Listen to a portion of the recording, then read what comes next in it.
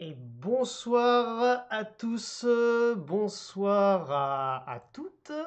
Bah, vous nous retrouvez donc euh, comme d'habitude, comme à l'accoutumée le mercredi soir à 18h pour une discussion euh, confinée sur la chaîne YouTube de Coscience. On est très heureux euh, de vous retrouver hein, chaque mercredi soir. Depuis maintenant, ça fait 3 semaines, 3, 4 semaines qu'on fait des discussions confinées, donc ça commence à faire. Et on en fait donc le mercredi à 18h, le vendredi à 18h. C'est des, événements donc où on invite des chercheurs, des chercheuses à, à, venir discuter avec nous de sujets euh, divers et variés. On a eu euh, alors plein de, sujets. Hein. On a eu la biodiversité, on a eu sur le dernier, c'était le traitement, les traitements euh, par rapport au coronavirus. voilà hein, où, on en, où on en était un petit peu. vous pouvez retrouver toutes nos discussions confinées de toute façon, tous les podcasts vidéo, vous les retrouvez simplement sur la chaîne YouTube de, de Conscience. Donc bon, déjà, premièrement, j'espère que vous nous entendez bien, que l'image fonctionne, que tout fonctionne, hein, parce que c'est du direct, donc euh, il peut y avoir des problèmes techniques. Si jamais il y en a, ben, n'hésitez pas à nous le faire savoir via le chat, via l'espace euh, euh, commentaires. Hein, euh, voilà, n'hésitez pas à interagir. Et puis, si vous avez des questions, des réactions, des choses à nous faire partager, bah, n'hésitez pas aussi, bien sûr. Cet espace, il est pour vous. Donc, n'hésitez pas. Alors, juste avant de commencer dans le vif du sujet, je voulais remercier notre partenaire enfin, pour cet événement, hein, Science en Live.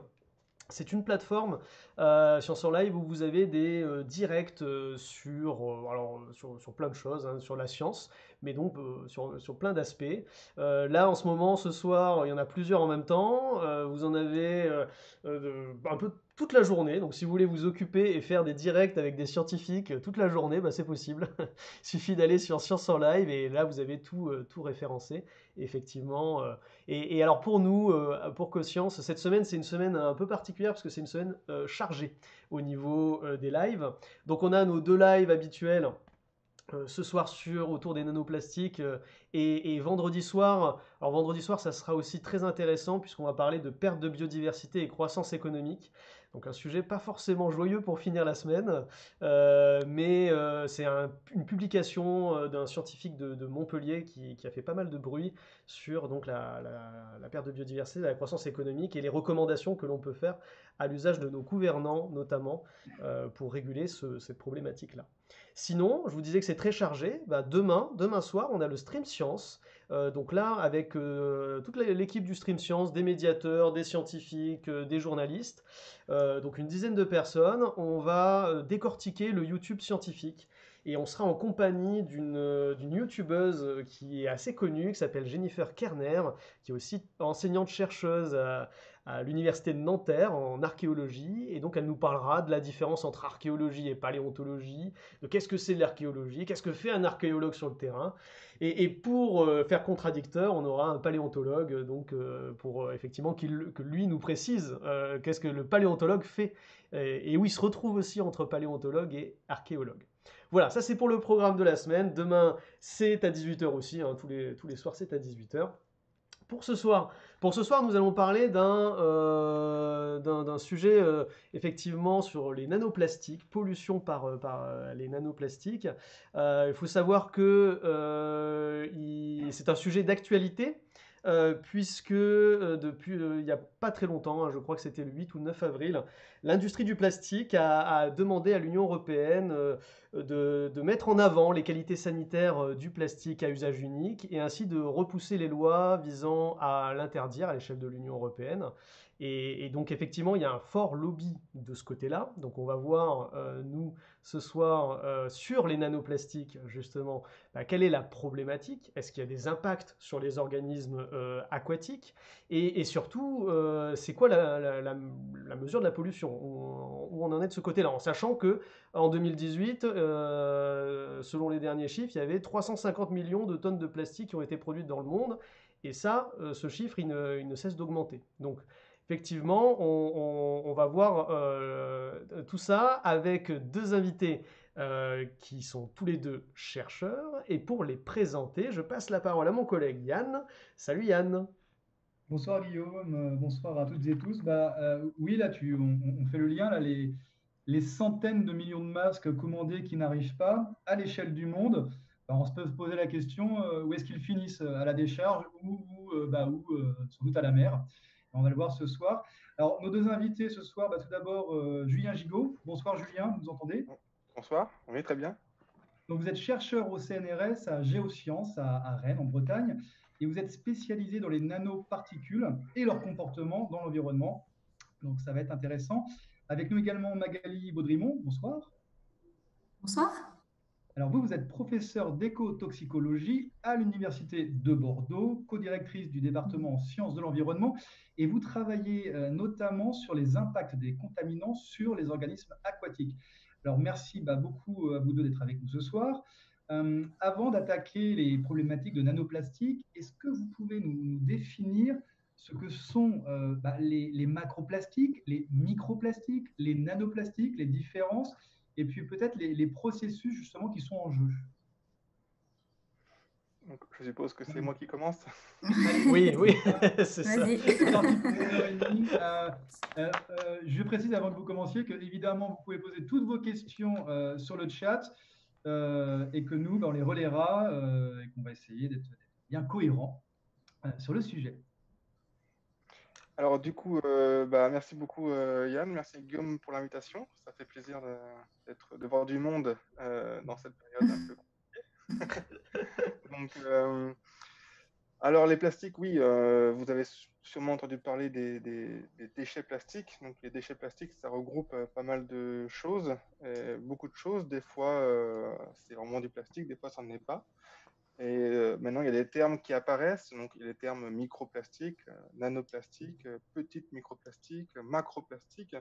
Donc, avant de commencer cette, bah, présenter nos, travaux et ce qu'on fait avec Magali, c'est plutôt euh, définir les différents objets. Donc, typiquement, le microplastique, il est, euh, il est visible. Donc, c'est ce que vous voyez sur les plages ou dans, dans, les océans, dans, dans, le sol. C'est ce qui fait.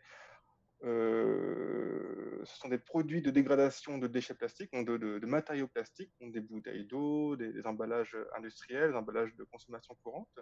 Et ça fait des, petits objets qui sont inférieurs à 5 mm. Donc il y, a, différentes définitions qui sont été proposées par différents auteurs en Europe et dans le monde. Donc il y a une sorte de consensus qui s'est mis en place et qui dit qu'un microplastique euh, fait entre 300 microns de taille, donc 300 microns, donc 0,3 mm, euh, jusqu'à 5 mm. Donc là, c'est ce qui vous donne une idée du microplastique. Ensuite, il y a une zone un peu, un peu floue qui fait entre 300 microns ou 1 micron où là, on se dit, bon, c'est des petites microplastiques. Donc là, on commence à devenir à, l'épaisseur d'un cheveu, donc c'est vraiment tout petit. Et là, c'est des, petites microplastiques. Donc ces particules, qu'elles soient microniques ou millimétriques, un plastique dans l'eau, il y a deux solutions. Soit il coule, soit il flotte. Mmh. Jusque-là, on est d'accord. Donc ça, c'est ce qu'on appelle un, plastique qui garde ses propriétés euh, initiales, c'est-à-dire qu'il reste euh, soit dense il coule, soit il flotte. Donc ça, c'est propre à, son, à, son, à sa composition. Euh, ensuite, quand il, commence à descendre en dessous le micron, donc c'est 1-2 microns, la frontière dépend de la nature des particules, donc le PVC, le polystyrène, le polyéthylène ont des propriétés qui sont différentes et du coup vont euh, vont avoir cette, euh, une taille nanométrique différente. je, m'explique. Typiquement, euh, en dessous de 1 ou 2 microns, les particules ne vont plus être soumises à la flottabilité ni à la sédimentation. Elles vont être dispersées de manière homogène dans le, volume. Typiquement, le lait. Le lait est une solution qu'on appelle colloïdale. Ce sont des molécules, sont des grosses macromolécules qui sont dispersées de manière homogène dans le, dans le, dans, dans le volume le lait ne flotte pas, il ne coule pas, il reste stable en solution. Mmh, D'accord? mmh.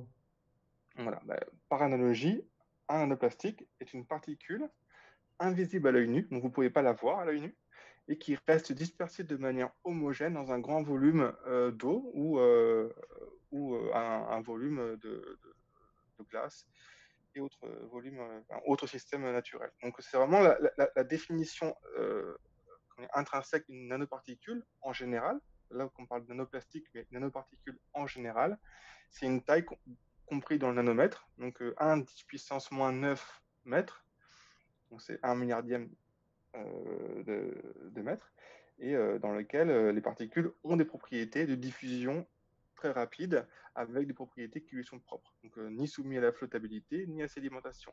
Les seuls, la seule raison qui explique sa, stabilité en milieu aqueux, en milieu donc, naturel, c'est les collisions qu'elle va subir avec les différentes molécules qui constituent ce milieu. Est-ce que je vous, me suivez encore? Ouais, Donc, les molécules vont maintenir cette, ces, particules stables en solution. Voilà ce que c'est un, nanoplastique. Mais ça veut dire que dans euh, un milieu, par exemple le sol, euh, pareil, de la même manière, les nanoparticules vont se diffuser, circuler euh, librement à l'intérieur de ce, du, du, sol. C'est pas que dans un milieu aquatique hein, dont, on parle. Voilà, bah, il, a, il, a, un comportement colloïdal. Si vous mettez quelque chose qui est sec, donc un sol, un sol sec dans lequel il y a des colloïdes, vous mettez un peu d'eau dedans, vous secouez et vous allez libérer du coup tout ce qui est colloïdal. Ok. Donc après, il y a différents processus, la force ionique, la teneur en matière organique, il y a pas mal de, paramètres qui vont, pouvoir influencer la rétention, donc l'accumulation dans le sol ou la libération. Mais ça, la particule, elle, elle garde sa taille euh, nanométrique.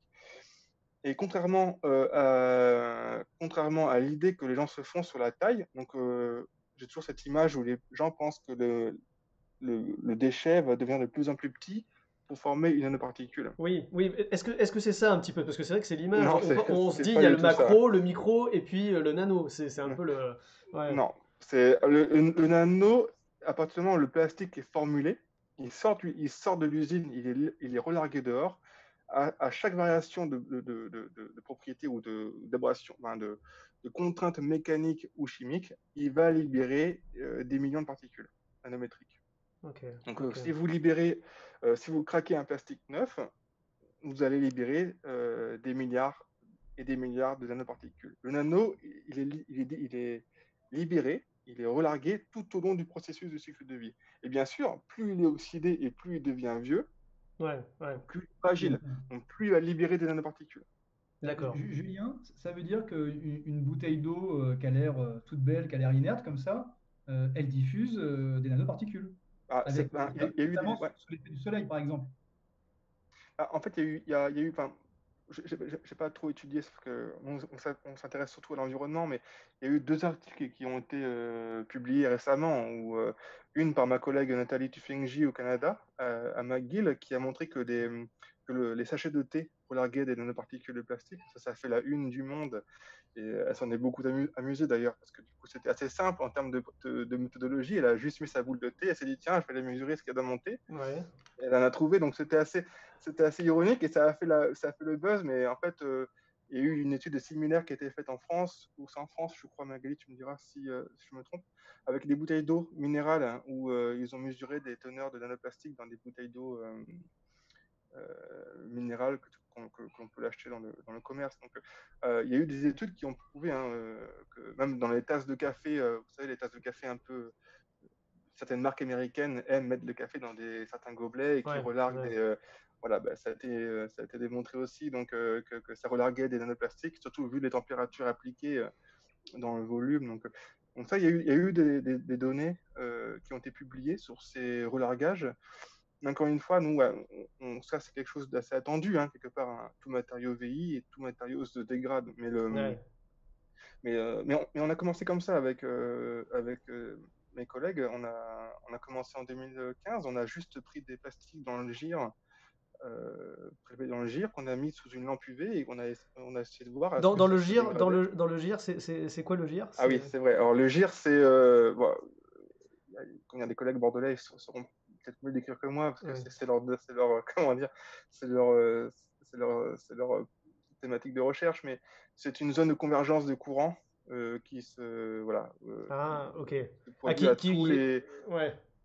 Voilà, le gire, c'est le mouvement giratoire. Donc, c'est la convergence des courants dans les différents océans font que les masses d'eau se rassemblent à certains endroits et en fait, les déchets qui se déversent dans les océans s'accumulent dans ces endroits. D'accord. c'est ce qu'on appelle C'est les gires dans chaque mer, chaque océan, euh, les gyres forment ce qu'on appelle les continents de plastique. C'est le fameux sixième continent.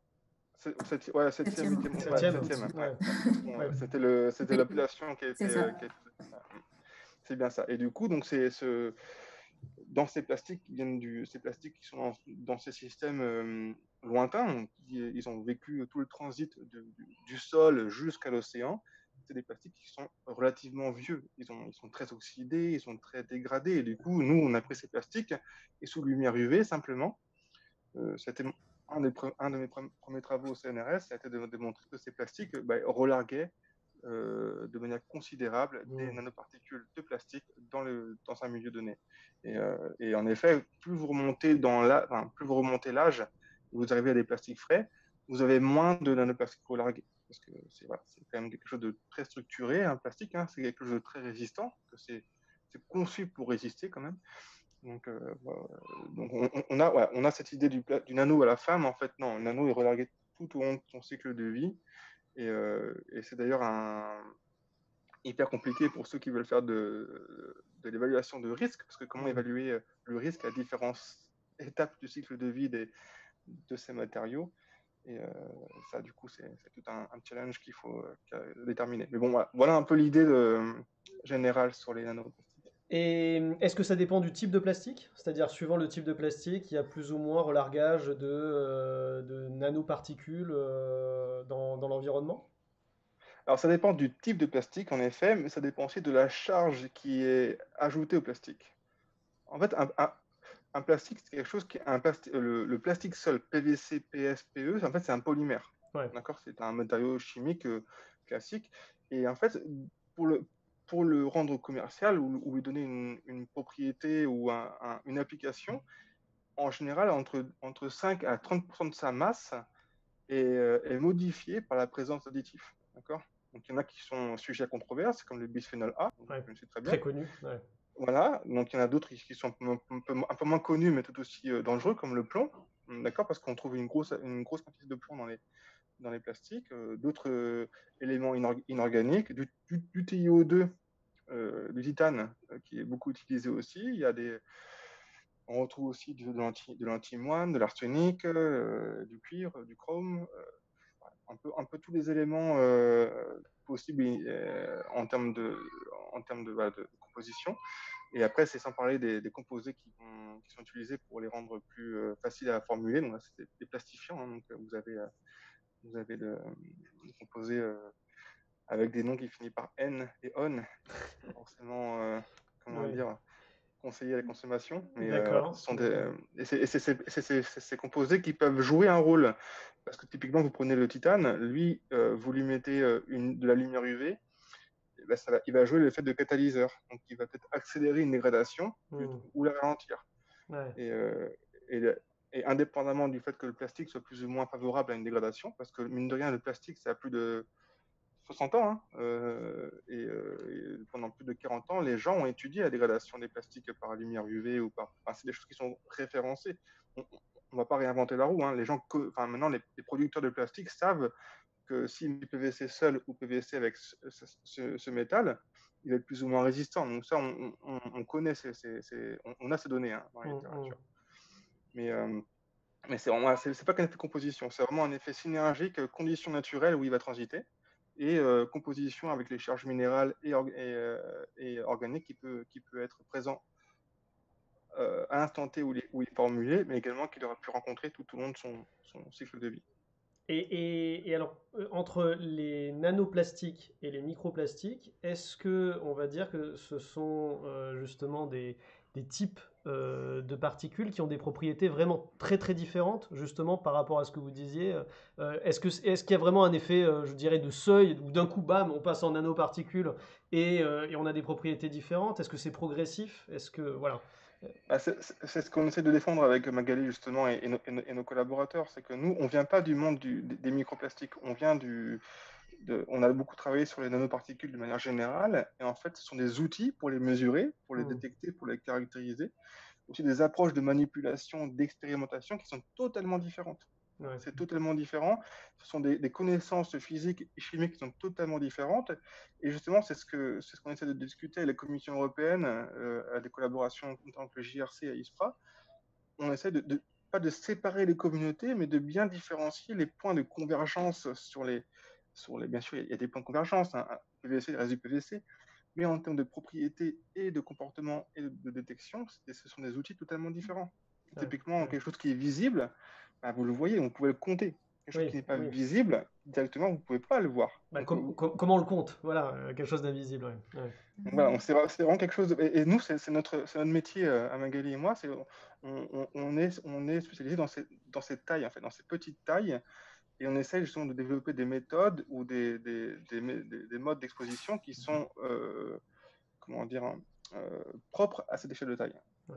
Est-ce qu'on peut parler de, pardon Guillaume, mais de, de partie de l'iceberg invisible, on, a souvent ces images de tortues euh, avec des pailles dans le nez, avec mm. des reliquats, euh, mais finalement, ça, ça, ça, se voit. D'ailleurs, c'est, ça, permet de, bien, enfin, malheureusement, communiquer sur le plastique, mais est-ce que cette, pollution-là n'est pas encore euh, plus conséquente et plus dangereuse, plus problématique? Bah, Peut-être on peut passer la parole d'ailleurs à Magali sur les effets sur les organismes mm. aquatiques. Bah, quels sont-elles Quels sont-ils d'ailleurs plutôt ces effets? Oui, alors ben, là justement, ben, je voulais revenir sur la notion de taille dont parlait Julien, parce que pour bien comprendre euh, pourquoi on considère finalement que euh, la fraction nanoplastique est potentiellement plus dangereuse que la fraction micro ou macro. Euh, déjà, si on regarde la, taille d'une nanoparticule, donc Julien l'a dit, c'est 10-9 mètres. si on regarde la différence de taille entre cette particule et une orange, c'est la même différence de taille entre une orange et le globe terrestre. Donc, pour vous donner une idée, ça veut dire qu'on est vraiment dans l'infiniment petit. Mmh, mmh, mmh. Donc, euh, et si on compare la taille de cette particule à, la taille d'une cellule, une cellule, ça fait quelques dizaines de micromètres, euh, c'est comme si on rentrait euh, une orange dans, dans une maison. Donc, on voit bien qu'on a une échelle de taille qui veut dire que ces particules, contrairement à l'échelle microplastique, elles peuvent rentrer dans nos cellules. Donc, ça, c'est un premier critère qui, peut, euh, bah, qui nous laisse à penser qu'en termes de dangerosité, euh, ça va être plus important potentiellement puisque ça va pouvoir entrer dans les cellules, dans les tissus, être dispersé euh, par le sang, voilà, dans, tous les, dans tous les organes. Donc ça, c'est une première chose qui est importante pour considérer la notion de danger et, de toxicité. ensuite, la deuxième chose, c'est ce qu'a dit Julien également, c'est que c'est la probabilité de rencontre en fait de la nanoparticule avec l'organisme vivant. Donc, les microplastiques, Julien l'a expliqué, soit ils flottent, soit ils coulent dans l'eau, alors que les nanoplastiques, ça reste dispersé dans toute la colonne d'eau. Donc, si on imagine ça à l'échelle de l'océan, ben en fait, les nanoparticules les de plastique, il y en a euh, dans tout le volume d'eau. Donc, ça veut dire que toute la chaîne alimentaire, tout le réseau trophique océanique peut être touché, que euh, ce soit un animal qui vive près du sédiment, en plein eau ou en surface. Donc il y a une, probabilité de rencontre plus importante et surtout il y a un nombre de particules qui est forcément beaucoup plus important aussi qu'à euh, l'échelle euh, microplastique. Donc ça, c'est. Une première chose, c'est, euh, disons, la capacité d'exposition des organismes par rapport à ces nanoparticules.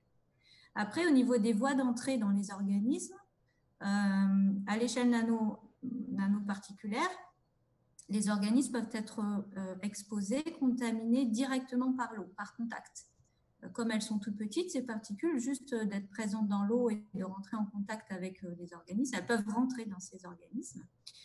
Et on rajoute là-dessus la voie de contamination par l'alimentation, c'est-à-dire quand les organismes vont ingérer euh, des proies contaminées. Alors là, par exemple, euh, des organismes qui sont très sensibles à ça sont les organismes fibres, donc les moules, les huîtres, par exemple. Mmh, mmh. Ce sont des organismes qui vont filtrer beaucoup d'eau pour respirer et pour se nourrir, et ce sont des organismes qui vont être exposés à la fois par les particules directement présentes dans l'eau et à la fois par les particules qui ont été euh, absorbées euh, par euh, les microalgues phytoplanctoniques. Donc on a voilà, une double voie de contamination qu'on n'a pas forcément avec les microplastiques, puisque les microplastiques ne peuvent pas rentrer dans les tissus, ils sont trop gros. Donc on va, ils vont être ingérés par l'alimentation, mais ils vont rester dans l'intestin et ils ne vont pas voilà, forcément pénétrer les tissus. Donc, mmh. voilà, ça, c'est les grosses différences déjà qu'on a en termes de risque de toxicité entre micro et nanoplastique. Après, au niveau des effets, ben, les effets, ils sont à plusieurs niveaux. Donc, il y a l'effet du, polymère lui-même. Donc, il y a différentes compositions de plastique, hein, on l'a dit tout à l'heure. Donc, euh, là, rien que la nature du plastique, du polymère, peut avoir des effets euh, toxiques différents, hein, puisque la formule chimique n'est pas la même. Donc, forcément, l'interaction avec euh, les, cellules et les organismes ne va pas être la même et euh, la toxicité, euh, du coup, en découle. Hein, ça, peut être différent. Après, il y a toute la notion bah, des additifs. Donc ça, Julien l'a expliqué. On a tout un tas de composés chimiques qui sont contenus dans ces petites en plus des polymères. Et tous ces composés, on connaît déjà leur toxicité. Donc tous les, métaux dont a parlé Julien, le plomb, le cadmium, on, connaît leur toxicité pour les organismes aquatiques. Hein, et ils sont toxiques pour plein d'organes. ils, ont, ils peuvent générer des atteintes au niveau de l'ADN. Donc, certains sont cancérogènes, et on a tout un tas de composés qui sont aussi euh, euh, reprotoxiques, donc euh, toxiques pour la reproduction, ou perturbateurs endocriniens.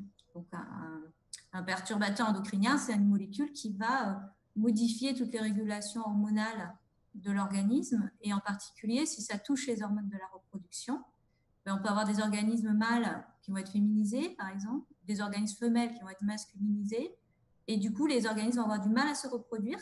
Et là, euh, forcément, des organismes qui ne peuvent plus se reproduire, ben, ça veut dire que l'espèce, elle disparaît. C'est mmh, euh, mmh, simple que ça. Donc, ça, va forcément. Euh, pour les nanoplastiques en particulier, non, mais pour les composés chimiques type pesticides, phtalates, bisphénol A dont parlait Julien, ça sont des, molécules pour lesquelles on sait qu'ils génèrent ce type d'effet. Donc, donc potentiellement, on n'a pas de, enfin, je ne connais pas d'exemple précis d'organismes de, disparus à cause de ces composés, hein. mais euh, on connaît très bien euh, l'effet de certains euh, pesticides aux États-Unis, notamment la trazine, qui a été utilisée à large échelle dans, des zones agricoles sur des grandes surfaces, qui a conduit à la disparition totale de certaines populations d'amphibiens. Les amphibiens sont des, espèces particulièrement sensibles à ce type de pollution. Donc on a d'autres exemples hein, qui montrent ça. Donc, euh, c'est vrai que ça, voilà, ça fait partie du, danger potentiel de ces. Est-ce qu'il n'est pas difficile euh, scientifiquement, justement, d'isoler les effets euh, de ces nanoparticules plastiques et de voir leurs effets vu le, le dire, la, multitude de, particules Exactement. Alors là, la le troisième élément dont je n'ai pas parlé, c'est aussi tous les polluants absorbés à la surface. Donc, quand on prend les, plastiques dans le, dans le, milieu naturel, les nanoplastiques, ils ont eu le temps en fait d'absorber aussi des polluants présents dans l'eau et de les concentrer. Parce que plus une particule est petite, plus euh, son rapport surface sur volume est grand. Et donc, de façon exponentielle, on a une, réactivité de surface qui est augmentée à la chaîne nanométrique. Donc, ça va capter plus de polluants. Et en même temps, ça va avoir plus d'interaction avec, euh, avec les organismes vivants. Donc, du coup, euh, pour arriver à justement à sortir les effets du plastique, des additifs et euh, des polluants absorbés à leur surface, ben là, on, revient au laboratoire et on, va exposer des organismes à différents types de plastique. Et donc là, c'est ce qu'on fait avec Julien. On, travaille euh, en exposant des organismes avec des nanoplastiques de référence, donc des nanoplastiques, on va dire du commerce, une formulation simple, connu, de taille euh, standard, sphérique. Et euh, donc, on obtient un certain nombre de résultats. Et la, plupart euh, des, études faites en écotoxicologie sont faites avec ce type de, matériel très simple qui ne correspond pas à ce qu'on retrouve dans le milieu naturel.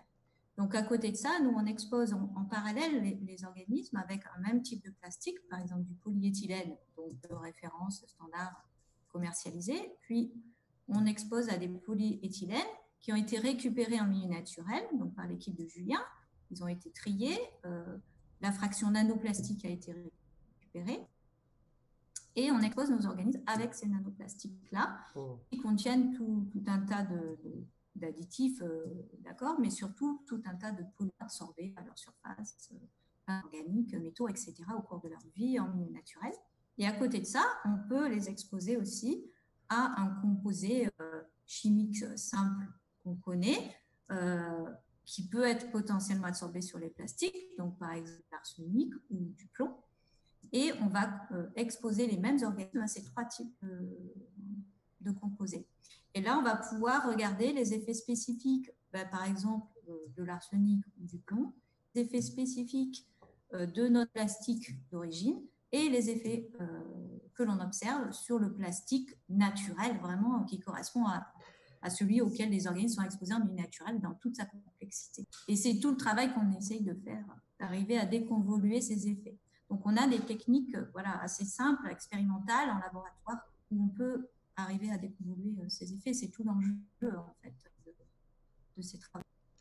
Parce que pour qu'on comprenne bien, les nanoplastiques qui sont présents euh, de, donc, euh, de manière naturelle, entre guillemets, euh, donc effectivement produites par l'homme mais, mais présentes, dans le, présentes dans le milieu, j'imagine que c'est extrêmement différent. La, la, taille, la surface, l'agrégation, il doit y avoir une diversité énorme dans ces nanoplastiques, alors que les nanoplastiques de référence qui sont employés dans le laboratoire, Là, ce sont, j'imagine, des, des, des, choses normées, mm. euh, enfin toujours, toujours la même chose, quoi, en fait, à peu près, hein, homogène, en tout cas. Voilà, c'est ça. Ben, Julien, je te laisse répondre sur cette question. Ouais, c'est une question sur laquelle on se.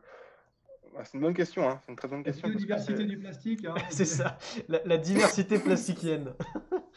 non, c'est une très bonne question parce que pour nous, c'est une question qui, qui, a défini tous nos, c'est une question qui a défini pas mal de, choix analytiques et de choix scientifiques euh, dans notre consortium avec euh, il y a Magali euh, à Bordeaux, mais aussi il y a, des Palois, on travaille des Palois, Bruno Grassel et, Stéphanie Reynaud, justement, on, essaie de se rapprocher au plus proche des nanoplastiques que l'on peut retrouver dans l'environnement.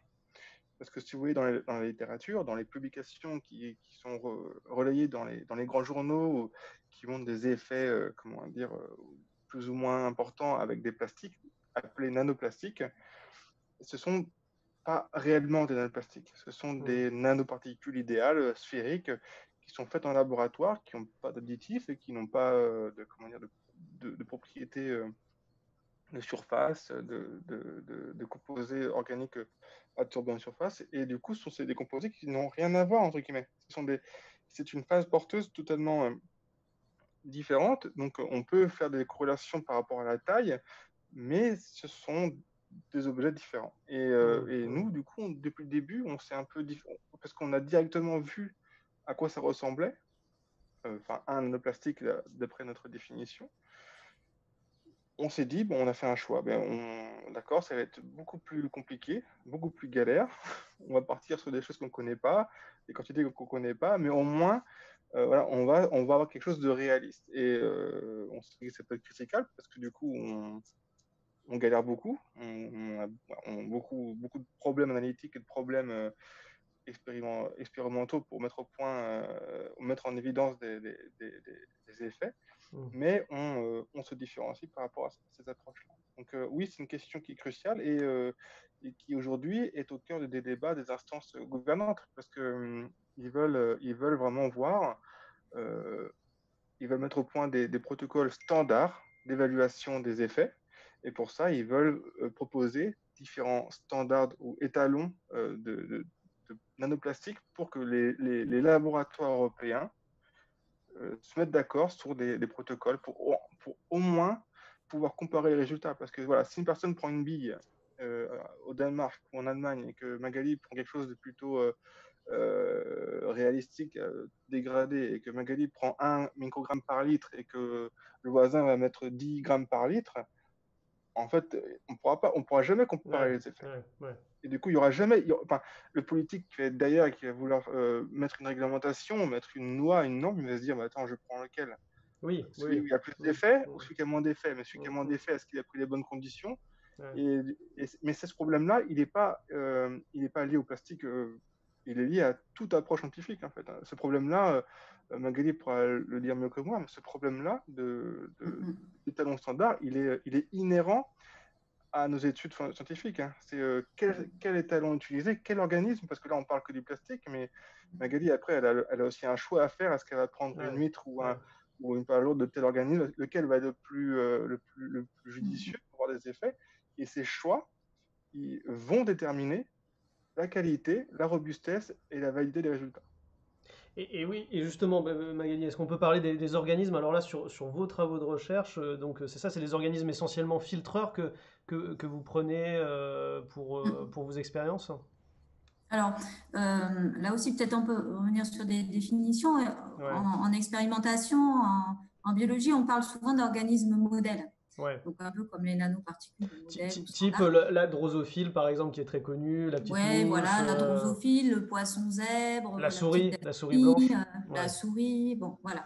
Donc ça sont les organismes qu'on utilise en laboratoire. Souvent, ce sont des organismes qui sont voilà, faciles à élever, faciles à exposer et euh, qui sont un peu standardisés effectivement parce qu'on a des élevages où on les reproduit euh, sur euh, différentes générations. Donc voilà, on a quelque chose d'assez standardisé. En général, les organismes pour les tests toxicologiques qui sont utilisés sont des organismes en général qui sont assez sensibles. L'objectif, c'est de pouvoir détecter les effets le plus tôt possible aux, doses les plus faibles possibles. Donc, on essaye de choisir les organismes les plus sensibles. Mais en fait, nous, on on a pris un, autre choix, c'est-à-dire que euh, en écotoxicologie, c'est là où on n'est pas en, toxicologie pure, c'est que là, on s'intéresse à l'impact sur l'environnement. Donc, on va aller chercher à travailler sur des organismes qui sont présents dans nos milieux, dans, notre environnement. Donc, euh, typiquement, nous, on, travaille plutôt sur des organismes qu'on va retrouver euh, dans le milieu naturel. Alors, on essaye quand même de choisir des organismes qu'on va retrouver dispersés à large échelle géographique. Euh, et, qui soit représentatif de certains milieux euh, particuliers. Donc nous, on travaille beaucoup effectivement sur les mollusques filtreurs parce que euh, j'expliquais tout à l'heure, ce sont des organismes qui sont contaminés facilement dans l'eau, mais ce n'est pas les seuls modèles qu'on utilise. On travaille aussi sur ce qu'on appelle sur du biofilm. Donc c'est des, des micro-organismes qui se développent face des substrats durs dans, les écosystèmes. Donc, c'est un mélange de, bactéries, d'algues, etc. Donc, on a ce type de modèle. Et on travaille aussi sur des poissons. Mais mmh. euh, les poissons, ça va être plutôt des poissons euh, de nos régions. Euh, typiquement, nous, par exemple, on travaille sur l'île européenne. Donc, c'est un poisson qu'on a dans nos estuaires européens. Et on va faire plutôt privilégier ce modèle-là pour, pour nos approches plutôt qu'un un, poisson zèbre qui est un poisson euh, tropical euh, qui ne va pas forcément représenter les effets qu'on va observer dans, dans, nos, estuaires. Voilà. Euh, donc, on, choisit ce type de modèle. Et là, en ce moment, avec Julien, on travaille sur l'huître des palétuviers. donc, on a un projet en ce moment sur la, sur la Guadeloupe où on travaille au niveau des mangroves. Et donc, les mangroves, c'est un milieu de transition entre l'eau douce, entre le continent et l'océan. Mmh. Et c'est un milieu qui va concentrer des apports euh, de plastique, bah, soit du continent issus de décharges euh, de déchets, soit des plastiques qui proviennent de l'océan. Et c'est une zone à faible hydrodynamique, donc on a des zones d'accumulation potentiellement de déchets. On a aussi des gradients, donc ça c'est Julien en parlera mieux que moi, hein, des gradients de salinité très marqués, donc on peut avoir un comportement des particules qui vont être très différents dans ce, selon ce gradient de salinité. Et là, on a des organismes qui sont particuliers à ces écosystèmes très fragiles. Donc, par exemple, l'huître de palétuvier, qui est une huître qui pousse sur les racines des palétuviers. Et euh, c'est un écosystème, la mangrove, à forte biodiversité, euh, parce que ça protège pas mal d'alvins de poissons, il y a beaucoup de nourriture, c'est protégé parce qu'il y a peu d'hydrodynamique, c'est protégé des vagues, etc. Donc, ce sont des milieux très sensibles. Donc nous, on va travailler sur ce genre de milieu qui est mmh. certes très complexe. Donc pour nous, ça pose plein de questions compliquées, mais on va essayer de choisir des organismes qui représentent ces milieux. Et euh, effectivement, ça va être plus difficile pour nous à travailler avec ces organismes-là en laboratoire parce qu'ils sont moins résistants que les organismes modèles classiques. Donc c'est un peu plus compliqué. Mais par contre, les résultats qu'on obtient, bah, forcément, c'est des résultats qui sont au plus proche de la réalité de ce qui peut se passer euh, dans ces milieux. Donc c'est un peu voilà dans cet objectif-là qu'on travaille. Et on travaille aussi euh, dans l'idée de travailler à des doses réalistes environnementales, comme disait Julien C'est ce que Julien disait. Donc on travaille de l'ordre voilà, alors du microgramme par litre. C'est à peu près ce qu'on peut retrouver dans, les zones d'accumulation de plastique. Et euh, alors que les tests, souvent en laboratoire sur les organismes modèles, c'est plutôt voilà, du milligramme par litre. Et, des fois, c'est des doses qu'on ne va pas retrouver dans le milieu naturel. Donc, notre vraiment, euh, voilà, c'est un peu ça, nous, ce qu'on essaye de, faire et de mettre au point aussi des méthodes d'exposition des organismes qui miment ce qui se passe en milieu naturel. Et là, c'est Julien qui a développé un système de petits canals en microfluidique qui permet de mimer le gradient de salinité qu'on retrouve dans un estuaire. Et donc, on, va exposer nos organismes à des particules qui sont passées dans ce gradient de salinité qui correspond à ce qu'on a en milieu naturel et en termes de comportement de la particule, c'est pas du tout la même chose que si on met directement la particule dans l'eau. Et donc mmh. là, ça, peut tout changer en termes de toxicité aussi. Donc là, Julien, je te laisse la parole si tu veux expliquer un peu ton, ton système de microfluidique. Donc ça, pour nous, pour les écotoxicologues, c'est très très important de très bien caractériser l'exposition des organismes, pour savoir ce qu'on fait. Euh, ce qui, se passe, ce qui se passe dans le milieu, en fait, ce qui se passe aussi dans le, dans le milieu, d'être au plus proche de, de, la réalité, en fait. C'est ça. Exactement. Alors Julien, je ne sais pas si, si, ouais, si, si, vous voulez compléter. Oui, enfin, c'est juste le, le, Magali a mis le point sur le, le je pense le, le problème, c'est que des études qui sont faites en général et c'est le c'est l'oubli ou comment dire ou la non prise en compte qu'une particule colloïdale eh ben, elle vit elle vit c'est-à-dire que elle aura des propriétés euh, des comportements donc euh, s'associer cet hétéroagrégé euh, floculés ou alors plutôt stable en solution qui vont dépendre, de plusieurs facteurs abiotiques. D'accord? Ces facteurs, c'est euh, essentiellement donc, la, salinité, euh, la température, la viscosité. ce sont aussi des, paramètres liés au pH de l'eau. donc tous ces paramètres, ces, paramètres physico-chimiques vont influencer sa capacité à, rester, à rester stable en solution, donc à rester comme elle est, euh, comme elle est venue, c'est-à-dire euh, particule singulière avec ses, métaux, ou alors elle va évoluer. Elle va évoluer dans, différentes conditions, soit se disperser, donc peut-être changer de taille, de forme, et souvent, ce qu'on voit dans les, dans les zones de fort gradient salé, donc elle va s'hétéroagréger avec euh, elle-même ou d'autres particules. Donc elle va, être, elle va grossir, mais euh, ce qu'on montre justement, et c'est là où on, couple le, côté physico-chimique que, je développe avec le côté écotox de, de Magali, c'est qu'on va essayer de, reproduire ce, tout ce, transit dans ce gradient pour prendre en compte comment la particule va évoluer et comment cette évolution va euh, réciproquement impacter les effets, euh, va se reporter sur les organismes. Et ça, à l'heure actuelle, c'est peu, enfin, voire pas du tout étudié. Les gens, ils mettent directement des particules mmh. dans le milieu salé sans prendre en compte ce continuum. Et pourtant, ce, ce, que l'on sait, et ça, c'est référencé, les zones de gradient, euh, les zones de gradient de salinité, donc les estuaires ou les mangroves, ce sont des nurseries environnementales. C'est là où toute la mmh. biomasse, quasiment toute la biomasse se concentre. vous avez euh, sous les banquises, typiquement, vous avez aussi un gradient de, de sel vous avez 90% de la biomasse euh, euh, qui, s'y trouve. Donc ces zones de gradient de salinité sont les zones les, plus importantes en termes de, de, biomasse.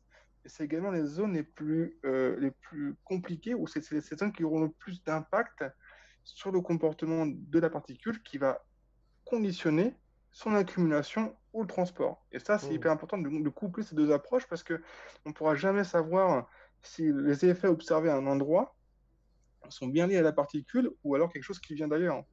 et c'est vraiment la question qu'on essaie de répondre avec Magali, c'est prendre en compte ce, transport et cette accumulation pour être sûr que les effets qu'on voit à instant T sur l'organisme, à, ces conditions d'exposition, de, sont, sont, les bonnes. En fait. C'est bien ces effets qu'on peut attribuer aux particules nanométriques. Une question, Guillaume. Euh, est-ce que les, les nanoparticules, est-ce que le plastique se dégrade? Parce que là, on, on voit qu'il vit, est-ce qu'à un moment, euh, rien ne disparaît, mais est-ce qu'il se transforme Est-ce qu'il est digéré par des bactéries, par exemple? Euh, il y a plusieurs hypothèses. pour l'instant, je parlerai que des, dégradations que j'appelle abiotiques, donc liées, aux conditions physico-chimiques, la lumière UV, tout ça. C'est ces paramètres qui, sont, facilement reproductibles en laboratoire. Donc, rapidement, ce qu'on a vu, c'est que les nanoplastiques, plus on descend en taille, plus du coup vous avez une énergie de surface qui est importante, donc plus vous êtes résistant à l'environnement. Donc mmh. plus petit, plus vous êtes résistant. Mmh, d'accord? Parce que du coup, il y a plus de. Bah, c'est les propriétés du matériau qui font que, si je prends l'analogie aux nanotubes de carbone, typiquement, vous avez des matériaux qui sont des fibres de carbone qui sont miniaturisées et pourtant qui ont des propriétés qui sont supérieures à celles du diamant ou celles du, carbone euh, amorphe. Donc on a vraiment des propriétés. Oui, exactement. Donc on a, on, a cet effet de taille qui va jouer sur la, sur la, stabilité. Et une petite aussi, euh, un petit euh, rappel à ce que disait Guillaume avant, c'est que euh, on parlait des billes sphériques et des particules amorphes. On a montré le laboratoire, et c'est des choses qu'on essaie de publier en ce moment, c'est que les billes, si vous limitez de la lumière UV, elles vont se dégrader en une ou deux jours. Donc, ces particules modèles que tout le monde utilise, elles se dégradent hyper rapidement parce que c'est juste, un, juste un agglomérat de, de, plusieurs petites microbilles, enfin de nanobilles. Mmh, mmh, mmh. Et si vous prenez un nanoplastique qui est plutôt amorphe, qui, est, qui vient d'une dégradation d'un microplastique, bah vous lui mettez la lumière UV, et ben il va rester stable. Il va, il va, va, s'oxyder en surface, mais il ne va pas disparaître. Et ça, ça va être sur 2, 3, 4 mois. On n'a pas vu de baisse significative de particules. Donc, ça veut dire que les, les, les, les, nanoparticules de plastique, les nanoplastiques que l'on retrouve euh, dans la nature, ils sont, on va dire, tellement dégradés, tellement amorphes, tellement euh, euh, particuliers, petits, que, eh ben, en fait, ils sont hyper costauds, hyper résistants en fait sur la longue durée. Bah, c'est ce que nous enseigne, enfin, c'est ce que nous donne nos connaissances sur les nanoparticules de manière générale. En fait. Donc, mmh. Euh, après, là, je parle que des facteurs abiotiques. Je enfin, à l'heure actuelle, on n'a aucun recul sur, la propriété des bactéries ou, des, euh, ou des, des vers de terre ou, autres organismes pour dégrader ces particules. Sur, euh, oui, oui, Magali, pardon. Oui, pardon, je voulais juste rajouter. on sait qu'il y a quelques organismes qui sont capables effectivement de biodégrader un petit peu euh, les plastiques parce que c'est des polymères euh, genre des hydrocarbures et c'est vrai qu'il y a des, pas mal de consortiums bactériens qui sont capables de dégrader les hydrocarbures. Donc c'est vrai qu'il y a certains consortiums bactériens qui peuvent dégrader, mais c'est euh, assez complexe, mais ça reste très très lent comme processus. Donc voilà, donc ça veut dire, ben, on sait qu'une bouteille plastique dans l'océan va persister plus de 100 ans avant d'être complètement euh, biodégradé. Donc, euh, certes, il peut y avoir des, capacités de biodégradation euh, de, certaines bactéries, de certains vers, mais ça reste très lent. Par contre, la question, nous, qu'on se pose, c'est s'il n'y a pas des capacités de, biodégradation dans les organismes, justement, peut-être à, à l'échelle nanoparticulaire, comme ces particules peuvent être absorbées dans les tissus, est-ce qu'il euh, peut y avoir de la dégradation dans les cellules? Est-ce qu'il peut y avoir aussi de l'élimination? Et ça, pour l'instant, il n'y a pas d'études faites là-dessus. Euh, on n'a pas encore la réponse. On ne sait pas comment un organisme peut se protéger, on va dire, contre ces nanoparticules. Il n'y a, rien dessus euh, par rapport justement, je ne sais pas, de, ben de, l'élimination ou du stockage peut-être aussi dans, certaines... Alors le, gros problème de de l'échelle nanométrique, c'est que pour l'instant, euh, enfin, les nanoplastiques, on n'est pas capable de les quantifier dans les tissus. Euh, donc là, d'un point de vue analytique, c'est compliqué. Donc c'est euh, sur quoi Julien travaille beaucoup. Et, et du coup, tant qu'on n'est pas capable de faire cette quantification, on ne peut pas essayer d'étudier la vitesse à laquelle les organismes vont dépurer. Puisque si on ne mmh, mmh. sait pas combien en rentre, on ne sait pas combien en sort. Donc ça, c'est un gros problème à l'heure actuelle, c'est qu'on n'est pas encore capable euh, de pouvoir faire ce genre d'études de dépuration. Euh, par contre, ce que l'on sait, c'est que nous, quand on, fait des expositions sur des, euh, des huîtres, on regarde un certain nombre de réponses génétiques au niveau cellulaire, des réponses très précoces, des gènes qui vont répondre à différentes fonctions. Et parmi ces gènes, on, on, en a qui vont être témoins d'une toxicité. Donc d'une toxicité pour la cellule, euh, d'une toxicité pour l'ADN, euh, des détériorations d'ADN, une toxicité qui peut conduire à la mort cellulaire. Et on a aussi des gènes qui sont marqueurs de mécanismes de défense. Donc, euh, des gènes qui vont lutter contre le stress oxydant. donc, ça, c'est un excès de poison cellulaire. Ce sont des petites molécules dans la cellule qui sont oxydantes, qui vont empoisonner la cellule. On a des, dans la cellule des, enzymes qui peuvent lutter contre ça. Donc, on peut regarder les gènes qui nous montrent s'il y a ce, mécanisme qui se met en place. Et on a aussi des gènes qui sont impliqués dans l'expulsion des composés hors des cellules. Mmh. Euh, et donc, par la mesure de ces, de ces euh, réponses génétiques, on a quand même des pistes sur les mécanismes, déjà même les voies d'entrée, comment rendre les nanoparticules dans les cellules, et sur est-ce que potentiellement ces mécanismes d'expulsion sont mis en route. Et ça, effectivement, on le voit. Donc maintenant, on n'a pas assez de recul pour être capable de dire ça va expulser tous les nanoplastiques d'une cellule. En même temps, ce nanoplastique qui est rentré avec tous les composés chimique qu'il aura transporté, bah, ça, va avoir des effets toxiques euh, dans la cellule, beaucoup d'effets toxiques.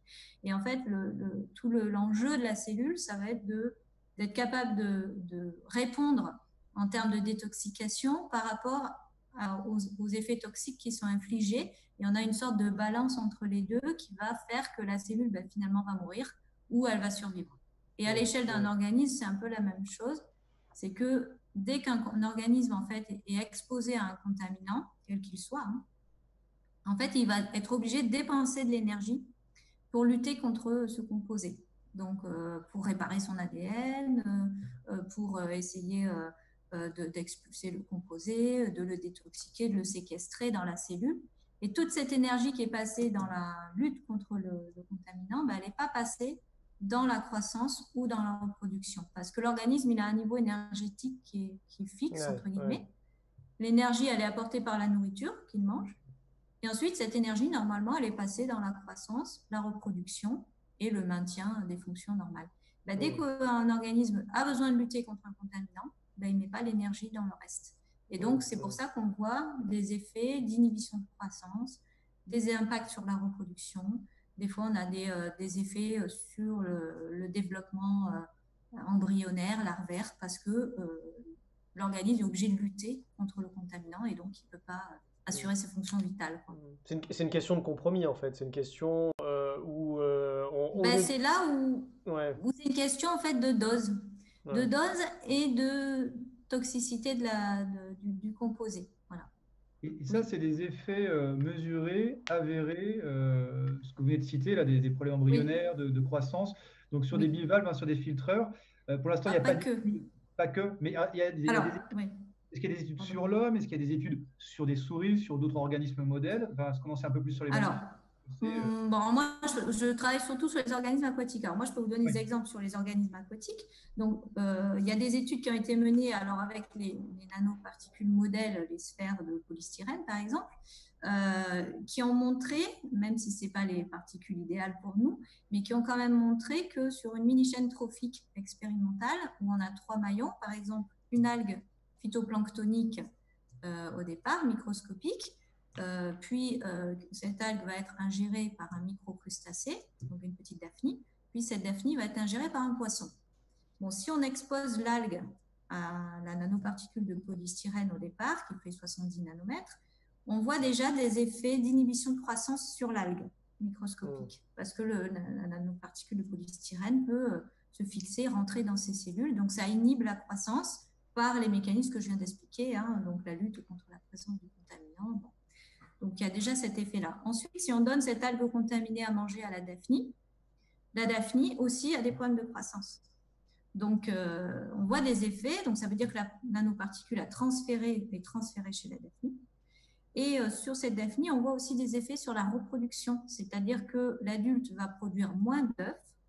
Et ensuite, les larves qui vont éclore, ben, si on suit leur développement, on voit qu'elles ont des anomalies de développement. Oui.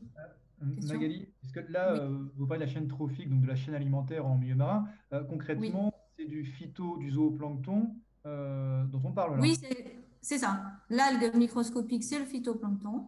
Le microcrustacé, la daphnie, c'est le zooplancton. Et, ensuite, le poisson. mais alors, est-ce que ça veut dire qu'on observe que la, base de la chaîne alimentaire des océans, à savoir le phytoplancton, est impactée par ces particules? Ben oui, voilà. Alors là, ce que je viens de dire, c'est quelque chose qu'on a vu en laboratoire euh, avec des nanobilles de polystyrène, euh, donc les particules les plus simples. Et si je termine jusqu'au poisson, mmh. euh, ce qui est quand même assez incroyable au niveau du poisson, c'est que le poisson qui a ingéré les daphnies contaminées, lui, on voit des effets au niveau du cerveau. Et donc, il a des effets neurologiques, des perturbations de son comportement de nage en particulier. Donc, il va avoir du mal, par exemple, à chasser une proie pour manger il va avoir du mal à avoir son réflexe de fuite face à un prédateur, etc.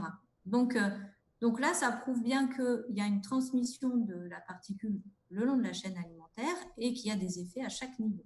Mmh. Et ça, c'est en laboratoire, bon, dans des doses assez élevées.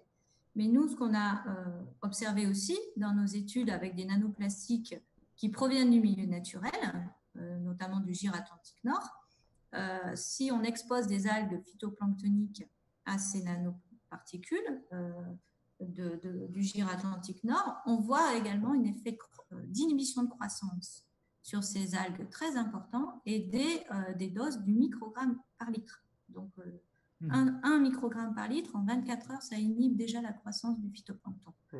Donc, euh, et cet effet est beaucoup plus élevé que si on compare euh, le même plastique, là c'était du polyéthylène, euh, ben, un polyéthylène standard du commerce. Donc les effets sont plus importants et à des doses plus faibles. En tout cas, à la base du réseau trophique, c'est ce qu'on a commencé à faire. Et, après, après, il y a une Est-ce qu'on parle d'accumulation, justement? Parce que là, euh, là on, parle de, du, phytoplancton, la petite daphnie qui mange le phytoplancton, le poisson un peu plus gros qui mange la daphnie qui a mangé le phytoplancton. Donc, en fait, au fur et à mesure, on a une accumulation en fait, de ces nanoparticules dans, les organismes. Euh, on ne sait pas exactement. Euh, on ne sait pas exactement s'il y a vraiment une accumulation le long du réseau trophique. En tout cas, ce qu'on voit à la base du réseau, c'est qu'on a cette possibilité de transfert de la nanoparticule et des impacts à tous les niveaux. Euh, maintenant, à, large échelle, on peut imaginer qu'il y a des processus équivalents. Par contre, on ne sait pas euh, quantifier cette transmission. C'est ce que je disais tout à l'heure. À l'échelle nanoparticulaire, on n'est pas capable de quantifier dans les tissus quelle est la quantité de nanoplastique euh, accumulée. Donc peut-être qu'il y a une, accumulation le long de la chaîne trophique, mais peut-être pas. Peut-être qu'il y a des mécanismes de défense, parce que ce qu'on connaît sur d'autres composés, euh, si je prends l'exemple des hydrocarbures, euh, en général, les hydrocarbures ont tendance à beaucoup s'accumuler à la base du réseau trophique, et notamment dans les mollusques filtrables, par exemple. Et puis, dans les poissons, ils vont beaucoup moins s'accumuler parce que les poissons sont capables de les métaboliser. Mmh, mmh. Et donc, ils vont les transformer et les éliminer. Donc, on ne sait pas encore. Peut-être que les nanoplastiques, quand on va monter dans le réseau trophique, peut-être qu'ils seront mieux éliminés par des vertébrés comme des poissons, des mammifères marins, que euh, par les organismes à la base du réseau trophique qui ont des mécanismes plus rudimentaires. Alors, ça, on ne le sait pas encore. Est-ce que le plastique est quelque chose euh, à, part? Parce que justement, le, pétrole, ça reste quand même un produit naturel hein, qui est éliminé par, euh, par les bactéries. Mm. justement, le plastique, on, on se demande si on est en capacité, enfin je dis on, c'est les organismes en capacité d'éliminer, parce que c'est quand même quelque chose d'artificiel. De, Est-ce que les, corps sont armés, les cellules sont armées pour faire ça? Qu'est-ce qu'on... Alors, mm-hmm. alors, pour les hydrocarbures en général, qu'ils soient pétrogéniques ou d'origine pyrolytique euh, chez les organismes euh, vivants, enfin je veux dire synthétiques ou, naturels, euh, c'est quand même des, composés étrangers à nos organismes. Ouais. Euh, c'est quand même des composés qu'on n'a pas naturellement dans nos cellules. Et quand ils rentrent dans nos cellules, ça c'est bien connu, euh, euh, on tente de les métaboliser, mais au cours de la métabolisation, on produit des métabolites qui sont cancérogènes. Mmh. Et c'est tout le problème. métaboliser. Alors, métaboliser, c'est-à-dire qu'on va dans nos cellules essayer de transformer ces, ces molécules qui sont très liposolubles pour les rendre hydrosolubles, c'est-à-dire pour que ça passe dans un milieu aqueux. Parce que nous, la façon d'éliminer les composés de notre corps, c'est de, euh, rejeter, de les rejeter par l'urine ou par la bile. Et ça, c'est hydrosoluble. Donc, euh, il faut que ce soit des composés qui soient, qui aient de l'affinité pour l'eau, pour, l'eau, quoi, pour le milieu aqueux. Et donc, un, hydrocarbure, c'est liposoluble. Donc, euh, ça ne va pas être éliminé dans les fluides du corps facilement. Donc, nous, on a toute une machinerie enzymatique dans nos qui va essayer de transformer ces composés, c'est-à-dire ces réactions chimiques qui vont euh, essayer de euh, rajouter un oxygène, enfin bon, des réactions assez complexes, qui vont essayer d'oxyder ces composés, les rendre plus hydrosolubles pour pouvoir les éliminer. Et au cours de ce processus, on produit des métabolites qui sont toxiques.